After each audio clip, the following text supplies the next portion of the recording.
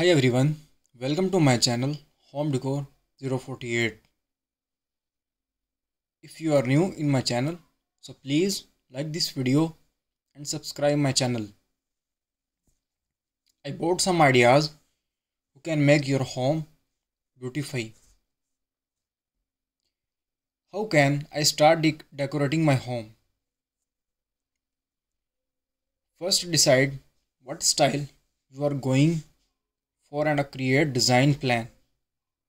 Identify the elements that will bring your vision of life and make sure they fit in with the existing architecture of your home.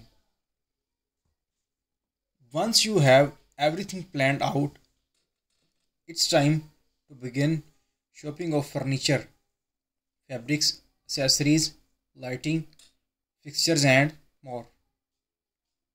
Make sure everything works together harmoniously. The right colors and texture will give your space chosen and character. What kind of items should I be looking for when decorating my house? The type of items what work will in any home decor depend on the overall aesthetics you are going for. Option for a few statement pieces that speak to the style of your space like a mid century modern armchair or a contemporary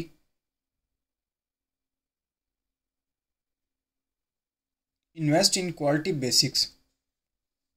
A nice sofa, coffee table, and areas rugs that will anchor your design and last for years to come. Finally, add texture with pieces such as throw pillows, area rugs, and wall hangings that can take your room from basic to beautiful. What tips do you have for creating an inviting living space? Make sure each room has adequate seating so everyone has somewhere comfortable long or work. Incorporate plenty of lamps and overhead lighting to brighten up dark corners and create an even ambience.